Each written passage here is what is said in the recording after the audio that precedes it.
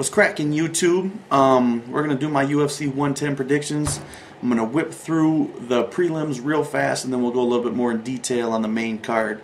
Um, you can subscribe at MMA at like Matt with an extra M Bull. Um, okay, we got Igor Pakjarvich or Pakarvich or I don't know Igor guy, and then James Te Huna. Um, Igor is a wrestler, Brazilian Jiu-Jitsu fighter. He's uh, primarily fights in Croatia. Trains with Mirko Cro Cop. He's coming off a loss to uh, Vladimir Vedashenko. Um, James Te Huna, Muay Thai wrestler. Um, he's the number one light heavyweight in the Australia, New Zealand area. Um, he's got notable wins over Anthony Perosh and Anthony Rea. This is UFC debut. Last four wins by TKO or knockout. Um, he's very versed in submissions as well. I'm going to go with uh, James Te Huna, second round TKO. Then we have Goran Relic and CB Dollaway. Um, we all know Dollaway from the Ultimate Fighter fame. He's a great wrestler from Arizona State, coming off a win against Jay Silva after being put to sleep by Tom Lawlor at UFC 100. Excellent submission, very good submission. And then Goran Relic, who is a Brazilian Jiu-Jitsu brown belt, he's good at kickboxing. Um, he uh, dominated Wilson Gouveia and then injured himself, so it was a long way to return. Um, CB Dollaway, I think, uh, if he doesn't win this fight, he's pretty much out of the UFC. Um, so I'm gonna go with second round submission, Goran Relic. Uh, Brian Foster versus Chris Lytle. Chris Lytle's great fighter. You know, um, 17 wins by submission, four four times fight the night winner. Um, very good wrestler, good takedown defense. Always puts on an exciting fight. Um, he's a banger with a good chin. He's fighting a freestyle fighter in Brian Foster, coming out of a loss to Rick Story. Um, Rick Story is an up and comer um, in the in this division here, and um, after or before that, he uh, KO'd Brock Larson. Um, I think that uh, Brian Foster is, is probably gonna is gonna take this one. Um, he's you know very well rounded. Um, he's got heavy hands. Um, they're gonna sit there and bang it out, and I I'm gonna go out on a limb and say first round TKO for uh, Chris Lytle. Um, Krzysztof versus Stephan Bonnar. Um, Bonnar, you know, hasn't had a win since 07 and um, he hasn't had a notable win since 06, which was over Jardine, a very controversial um, decision. I thought that he lost the fight. Um, he's on a two-fight losing streak. Although he is a good, well-rounded fighter, and um, he's good with submissions, good off his back. You got Krzysztof, um, loves the Kimura. He's versed in submissions. Got very, very heavy hands. Coming off a loss to Brandon Vera. Um, was an uneventful fight, but wasn't a domination. You know, I mean, and Brandon Vera, you know, is, is a notable opponent. Uh, I'm gonna go Krzysztof, unanimous decision. Then we have the most irrelevant fight in UFC history almost. That I mean, as as long as you know the UFC continually grows and continually becomes you know the main you know promotion in MMA. I mean, let's be serious. A lot of people aren't, you know aren't fond of the UFC. I'm not a diehard UFC guy, but you know I mean let's let's keep it real. It's it's the main UFC promotion. We have Chris Haseman Haseman versus Elvis Sinosic. Elvis Sinosic is eight and eleven Chris Haseman is 20 and 16. Um, only reason why this fight got signed, they're both Aussies in the fights in Australia. I'm going to real quick through this one. Submission by Chris Haseman, second, third round. Very irrelevant fight. Um, Mirko Cro Cop versus Ben Rothwell. Um, this is the first fight on the main card. Um, Cro Cop is coming off controversial win over Mustafa El Turk. Poked my man in the eye. Everybody thought it was a devastating strike until you saw the replay. Then it wasn't.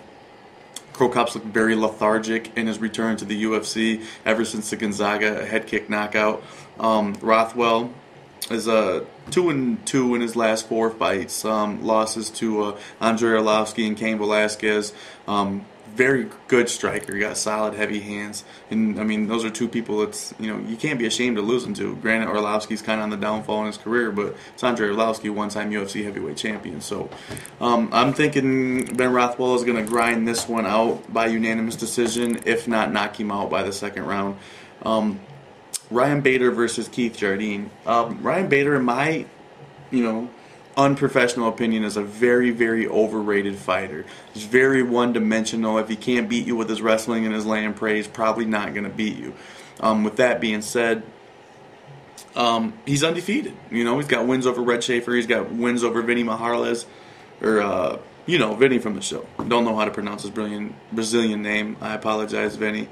Um, and he's fighting Keith Jardine, who was a very unorthodox striker. Um, he keeps fights on his feet. Um, he's got excellent kicks. He has lost three of his last four fights, and um, he's a very exciting fighter.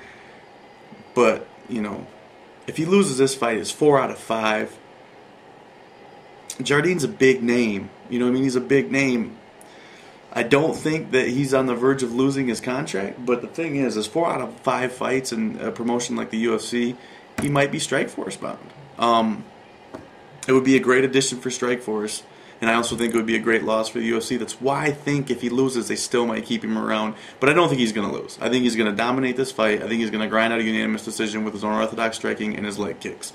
Um, after that, we then have uh, George Sotiropoulos, I love that name, um, versus Big Daddy Joe Stevenson. Actually, there's not a Big Daddy in there. Big is Big Daddy Gary Goodridge. Not even similar in style, size, or color, for that matter. Um, so, uh, we got Joe Daddy Stevenson, George Sotiropoulos. Joe Daddy Stevenson, great le- wrestler, loves his guillotine, great, I can't say great, very good in jiu-jitsu. He's on a two-fight win streak. Um, George Sotiropoulos, on the other hand, is a very underrated fighter. He's a black belt in Brazilian Jiu-Jitsu. He's on a five-fight win streak with great submissions. Um, I think it's going to be a good fight, but I think Joe Daddy's strength is going to be, in his wrestling, is going to be what's going to take him over the top. Although, I wouldn't be surprised if Sotiropoulos wins this fight by um, catching Joe Daddy off guard in a submission. I think Joe Daddy's going to grind out a unanimous decision. Um, then we come to my favorite fight in the card, which is going to be Michael Bisping versus uh, Wanderlei Silva. Um, Michael Bisping is coming off uh, Dennis Kang uh, TKO, which um, he looked horrible in the first round. Previous fight to that was the the brutal knockout by Dan Henderson. Um, I think that Dana White and the Fertitas brothers were, were trying to, you know, get their feet wet in the UK um, so desperately that they kind of handpicked Bisping's opponents, you know what I mean, so he could be the UK poster child. You know, it, I mean, it makes sense. You know, I may be wrong. It makes sense. Um, another overrated fighter, in my opinion. But don't get me wrong. I don't think he sucks. You know, he's very well rounded. He's got good hands. He's got good jiu-jitsu. He's good off of his back. Although you know we don't see him there very often, unless he's fighting Dan Henderson. But then he's not doing anything from his back. Um, and he's fighting Wanderlei Silva. Wanderlei Silva has lost a step, but he's a great striker. He's never in a boring fight. Never in a boring fight. Coming off a loss to Rich Franklin. Um, I think Wanderlei knocks him out in the second round. Um, I don't think Bisping's learned very much in his striking defense, you know, by the way that he looked versus Dennis Kang. Um, and Wandy's nasty. You know I mean? He gets him in that tie clinch, the knees, night night. Um, so I'm going to say second round knockout, Wanderlei Silva. Um, then we come on to the main event. Um, Big Nog versus Cain Velasquez. Uh, Velasquez coming off a great fight over Ben Rothwell it was kind of a, a, early stoppage, but you know, even if the stoppage didn't happen when it did, 20, 30 seconds later, it was going to be stopped anyway. So it was a complete domination of Ben Rothwell. No, you know, hands down. Um, he's fighting Big Nog, who's a legend of the sport, coming from Pride. He's had the, the wars with Fedor. Um, he had the war with Couture, one of the best fights in a long time in the UFC which he won. You know, he had the great stand-up battle with Frank Mir, even though he didn't win it. Um, coming off the staph infection, I think um, I love Frank Mir, but I think it might be a closer fight if he's 100%. Um, you know, he, he never ceases to be amazing. He gets rocked, he comes back. You know, he gets rocked, he comes back. So, um, I think Cain Velasquez's strength and his ability to withstand punishment is going to win this fight for him. It's going to be another unanimous decision, although I think it's going to be a great fight. Um, I'm going to do something that most people who predict these fights don't do. Um, I'm going to go ahead, uh, submission of the night, I'm going to give to, um, I'm probably going to say Goran Relic with submission of the night. Fight of the night, I'm going to say Cain Velasquez versus uh, Big Nog. And then knockout of the night, I'm going to go with, uh, of course, my main man, Wanderlei Silva, the axe murderer. You can subscribe, subscribe, excuse me, at uh, MMA at Bull. It's spelled like Matt with an extra M, Bull. Um, and we're going to do the UFC 111, which I'll be at in um, March 27th in New Jersey. So, uh, you know, I'll catch you guys then. Um, thanks for watching. Please subscribe. And, um, you know, gotta love my diehard MMA fans and my sponsor, No Fear.